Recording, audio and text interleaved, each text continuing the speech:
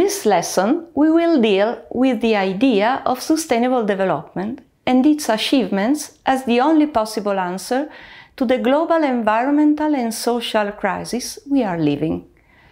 Depletion of natural resources, alarming water scarcity, fossil fuels utilization and environmental impact related with, rising temperatures, extreme weather, growing oceans level, and mass species extinctions are some of the environmental issues that represent the new and dangerous stage in planetary evolution named Anthropocene. The term Anthropocene was invented by the Nobel Prize for Chemistry Paul Crutzen in 2000.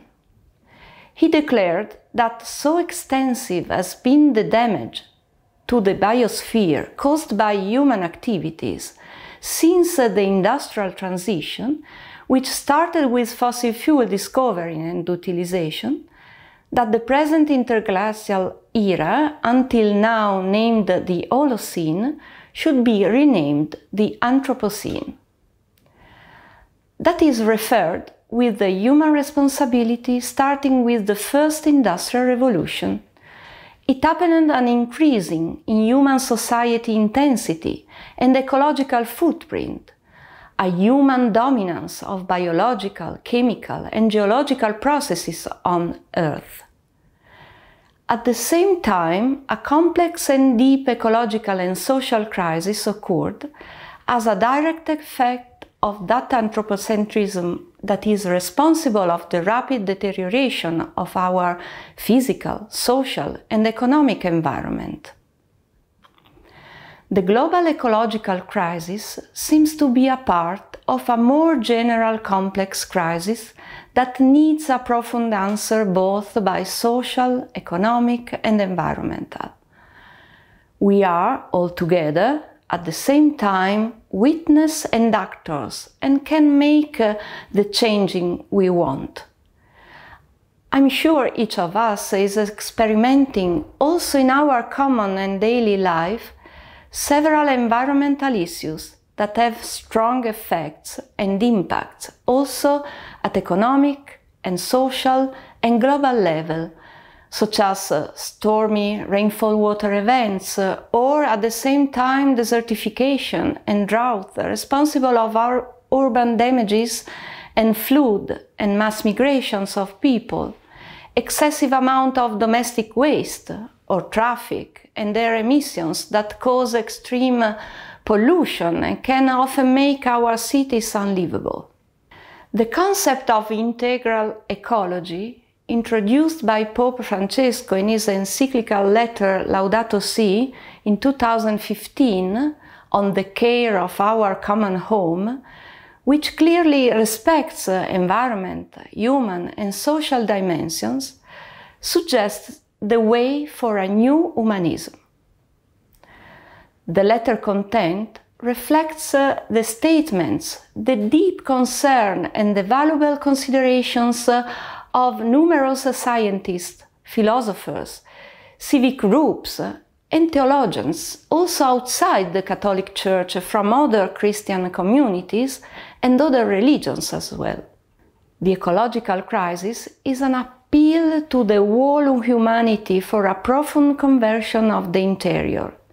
It is not simply necessary to consider a new technological, economic, and institutional innovation perspective, but to think about the motivations that come from the care of the world.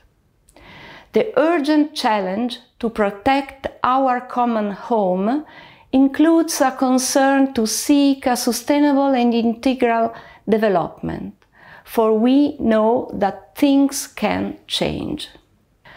On the basis of the same consideration and analysis and starting from a common concern and need for commitment, in the same year, 2015, it has been drawn up by the United Nations the 2030 Agenda for Sustainable Development, approved by the heads of state during an historic worldwide United Nations summit. On 1st January 2016, the 17 Sustainable Development Goals of the 2030 Agenda for Sustainable Development officially came into force. Over the next 15 years, with these new goals that universally apply to all, countries have to mobilize efforts to end all forms of poverty, fight inequalities, and tackle climate change while ensuring that no one is left behind. The document determines the commitments on sustainable development to be achieved by 2030, identifying these 17 global goals and 169 targets. Which is the nature and which are the characteristics of the 2030 Agenda? The 2030 Agenda itself consists of main four sections. A political declaration concerning the universality of the agenda for a new global partnership characterized by shared responsibility, mutual accountability and engagement by all a set of 17 Sustainable Development Goals and 169 targets strongly interconnected each other and based on the integration between the three dimensions of sustainable development.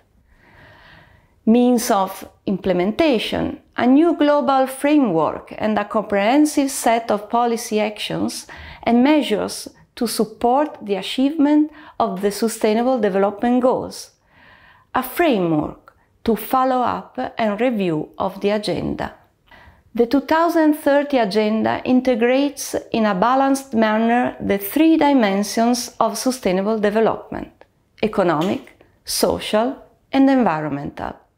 At first sight, the 17 goals can be classified in the three main dimensions that are related with as environmental, for instance, clean water and sanitation or climate action.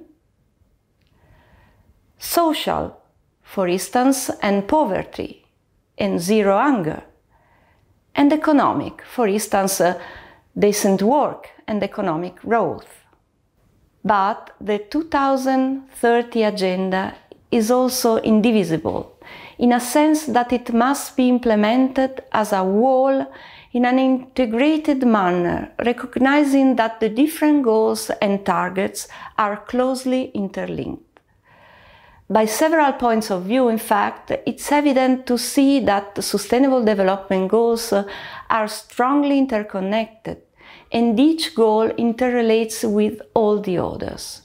Just as example, if we are considering the climate action, goal number 13, take uh, urgent action to combat climate change and its impacts means not only to be strongly related with sustainability of our cities and communities, goal 11, and in circular economy promotion, goal 12, but also to contribute to end poverty, goal number one, to be strictly correlated with clean and renewable energy production, goal 7, to cooperate for a more decent work and economic growth, goal 8. In conclusion, as stated in Sustainable Development Goals report, the 2030 Agenda for Sustainable Development provides a global blueprint for dignity, peace and prosperity for people and the planet, now and in the future.